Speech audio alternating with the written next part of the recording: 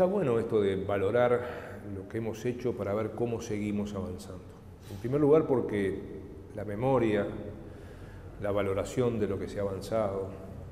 lo que queda por hacer son cosas que yo creo que día a día y en cada actividad que nos toca tenemos que tenerlo en cuenta. El mundo está cambiando muy rápidamente, como nunca, y muy masivamente, y también nuestro país. Y en, ese proceso vemos cosas en el futuro del trabajo, en el futuro de la protección social, que debemos analizar para colectivamente seguir construyendo el país mejor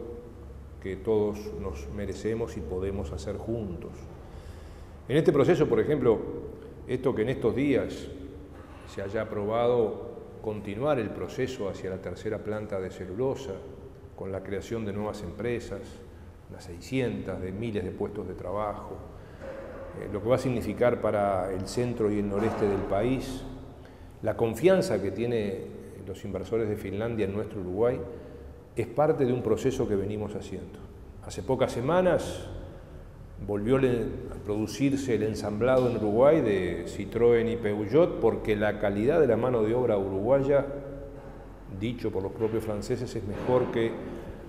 la europea y eso es parte de lo que hemos construido y lo que los alienta a seguir para adelante. La construcción de la primera grúa por una empresa holandesa que tiene 400 años de antigüedad, que fabrica 7 de cada 10 dragas del mundo y que está construyendo su primera draga acá en Uruguay y para luego de eso hacer mantenimiento a las que mantienen otros puertos del Cono Sur, lo que significa el cable que nos conecta con Estados Unidos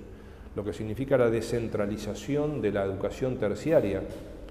en el interior del país con 15 centros. Eso nos da potencialidad para seguir avanzando.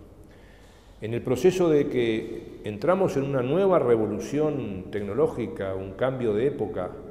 y que queremos que nos vaya como nos fue en las anteriores, donde, contrariamente a lo que algunos anunciaban en forma pesimista, hubo más empleos después de cada uno de esos cambios tecnológicos en la historia y también queremos que suceda en esta. Por eso lo que viene haciendo el INEFOP, que ha multiplicado por siete su capacitación, los empresarios y trabajadores en actividad, la culminación de los estudios, el acreditar los saberes de la gente que hace cosas y a veces no tiene el papelito, el pensar nuevas formas de producción y de trabajo pero siempre con diálogo y con negociación colectiva. Nosotros no queremos, ni ahora ni para el futuro, un país donde no exista diálogo y no exista negociación colectiva en los temas laborales. Así queremos seguir construyendo este eh, país.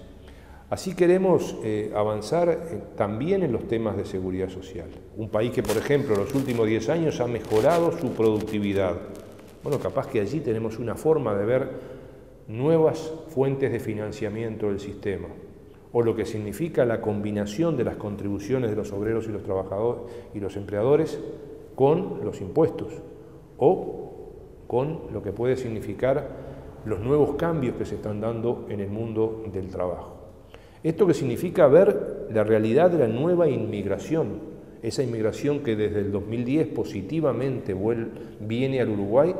y donde casi la mitad de los nuevos inmigrantes tienen formación terciaria. Este país que se construyó con inmigrantes laburantes de trabajo, ahora tiene una nueva oportunidad histórica con las nuevas migraciones.